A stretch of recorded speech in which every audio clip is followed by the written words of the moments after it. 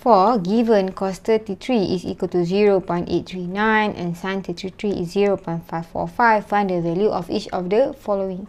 So we see here what can we do so that we can use this 33. So what is the relation between 57 and 33?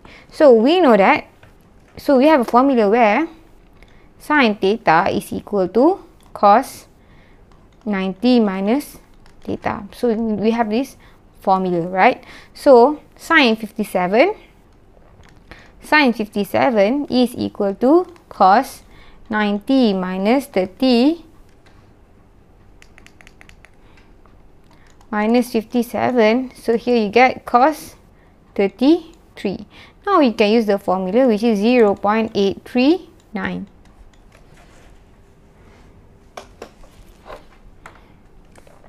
So tangent 57, how to get 33 from 57? So same with this one using complement angle.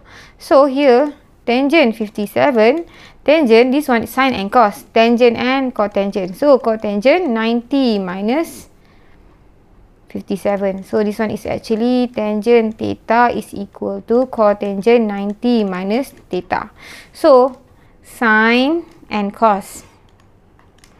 So tangent and cotangent. Secant and cosecant. So sin theta is equal to cos 90 minus theta. So this one the formula this apply cos theta is equal to sin 90 minus theta. So this one is pair, pair, pair. So tangent and cotangent. So now why I made this one because I want to take out 33 degree. So that this one is equal to cotangent 33. But how to get cotangent 33 with sine and cos? We know that cotangent is equal to 1 over tangent 33. And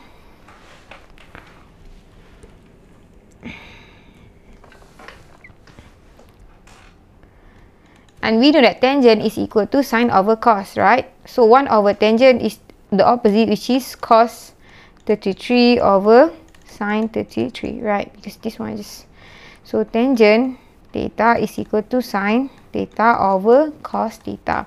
So if we change it as 1 over tangent so we just change place cos theta over sine theta.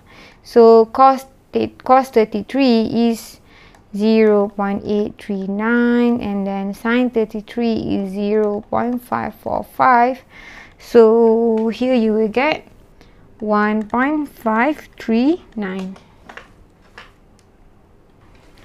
so see secant 57 if I want to use uh, 33 degree so here secant and cosecant. So secant 57 is equal to cosecant 90 minus 57 So here cosecant cosecant is not cosec cosecant 33. So we know that cosecant is actually 1 over sine 33. So cosecant is 1 over sine.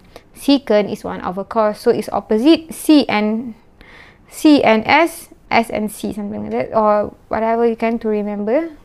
So 1 over sine 33 is equal to so this one is 0 0.545 so here you will get 1.835